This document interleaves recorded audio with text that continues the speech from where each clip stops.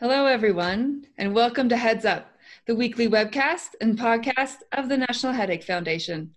I'm Dr. Lindsay Weitzel, migraine strategist, founder of the Facebook group Migraine Nation, and chronic daily migraine survivor.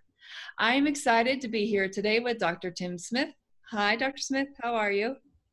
Doing well, Dr. Weitzel. Good to see you again. Good to see you. Uh, Dr. Smith is the CEO of StudyMetrix Research, and he is also the vice president of the National Headache Foundation. You are probably used to seeing him. He is a regular guest on Heads Up. Today, we're going to talk about the qualifications and certifications that our headache providers have. I know that I meet with people with migraine who have often fallen through the cracks of the medical system um, sometimes they've sought care and did not have a great experience. Sometimes they didn't receive the correct diagnosis, or maybe didn't feel like their provider cared too much about their illness. Um, and so I find that's part of my job to sort of coax them back in and find a provider that that fits them and understands their disease.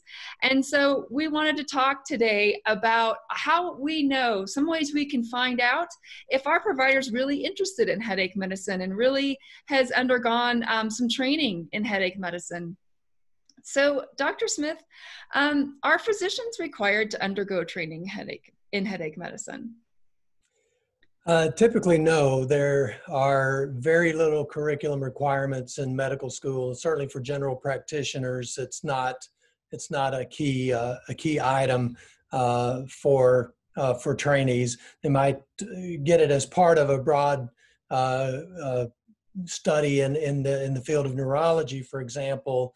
but um, but no, to have a, a specific course on headaches that that doesn't exist in in uh, in the medical education system.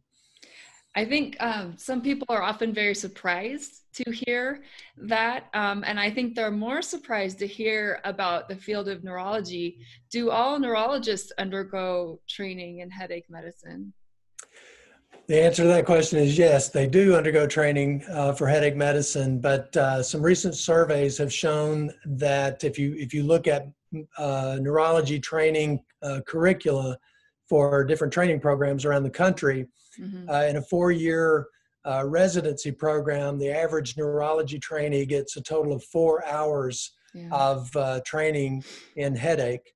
And that's in all forms of, of headache. That's migraine, cluster headache, post traumatic headache, other problematic and disabling headache disorders.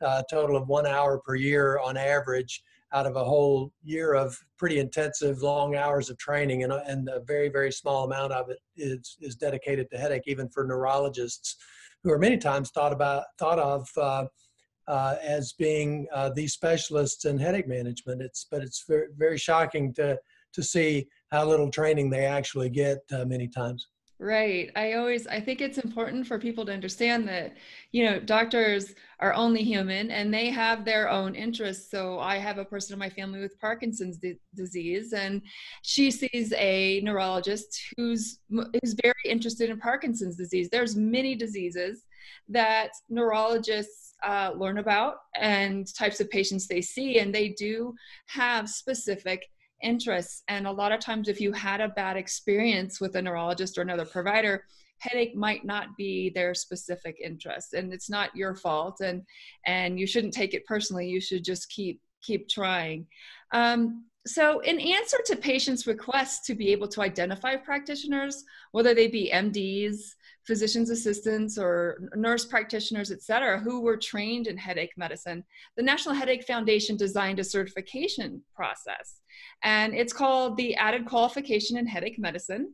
Can you tell us a little bit about that? Sure, we, we call it AQH for short. That's a mouthful to uh, say the added qualification in headache me- uh, medicine. Right. Uh, but the AQH uh, was started uh, almost uh, 20 years ago by the National Headache Foundation and it was in a direct response to patient requests. Mm-hmm. Uh, as many of your your viewers and uh, listeners will know, the National Headache Foundation is a nonprofit organization, and it's a patient organization. It's not a scientific society made up of researchers and doctors. We do have some of those folks uh, on our board and who are professional members, but the rank and file 30,000 plus members are folks that uh, engage with us r- routinely, are patients, are people who love someone who has a disabling headache disorder. Mhm. And that group uh, years ago came to us and said, you know, we wish there was a way to identify competent clinicians, uh, a credential they could have, because we they understood that having a certificate in pain management or in neurology or some other uh, field didn't guarantee that that clinician uh, was uh, uh, really on top of the game as it pertains to headache management. So uh, we, uh, the National Headache Foundation Board of Directors and the Executive Committee uh, got together and they uh, formed this process to attain a certificate for the AQH certificate. And when it first started off, this was, it basically had a, a list of what we call key opinion leadership uh, activities that uh, that clinicians could uh, use to demonstrate through a point system and uh, and uh, uh, get a certificate of added qualification, uh, Right. the the the uh, uh, to signify their their expertise in the area.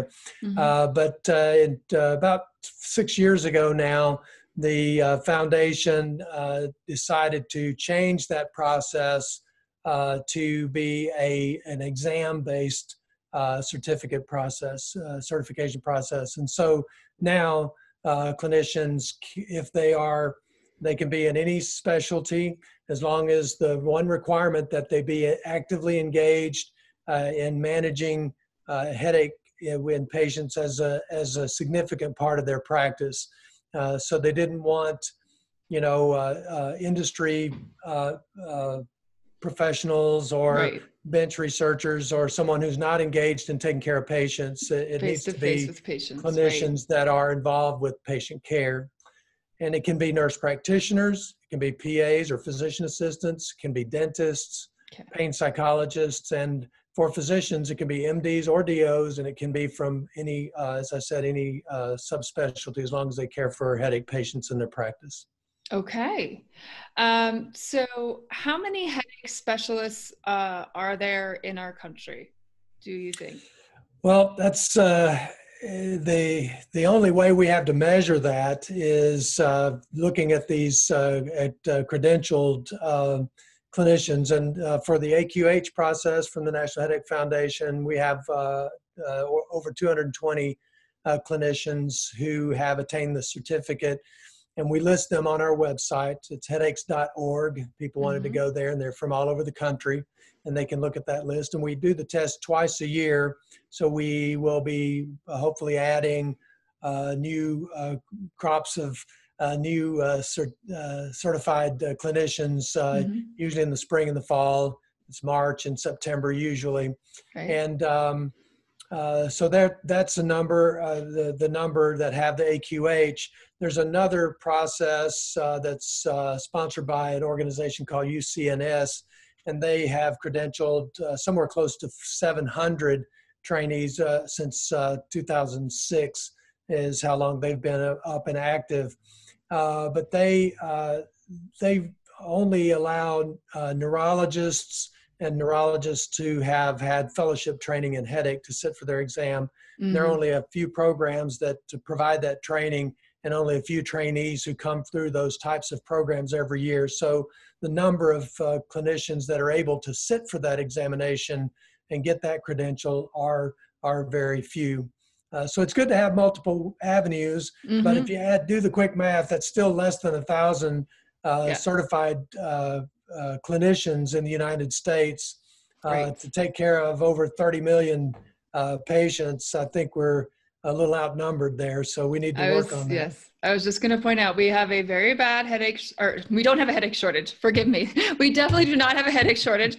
We have a shortage of headache providers. Uh, we don't even have a headache shortage in my own house. Um, and so, and so, if you know someone, if you have a provider that you work with that works with you who's particularly awesome, uh, send them to headaches.org. Uh, see if they want to go through the certification process. Um, it can be a really awesome thing for them and for the people that they work with. Uh, it's a truly great thing. I do know for the, at the institution I go to, Um, there are a couple NPs who just recently did it. They were very excited. Um, so definitely uh, send some people there if you think that they're they're awesome and they would be good for this. Um, so is there anything else you'd like to add, Dr. Smith?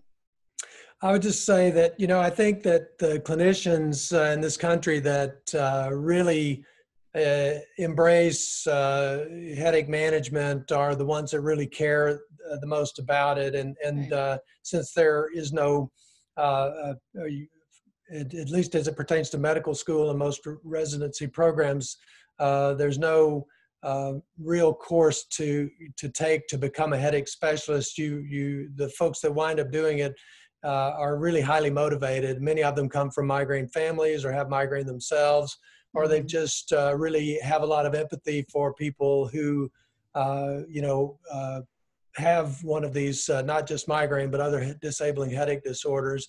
Um, and so the AQH is one pathway to get a credential uh, in that way. So, if, as you said, any any clinicians out there, if you know one who cares deeply about headache management or is good at it, but uh, uh, they perhaps they could um, um go to the website, learn about the AQH, go to headaches.org and check it out.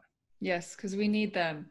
So thank you, Dr. Smith, and thank you everyone for joining us this week on Heads Up. And please join us again next week, either on the webcast or the podcast.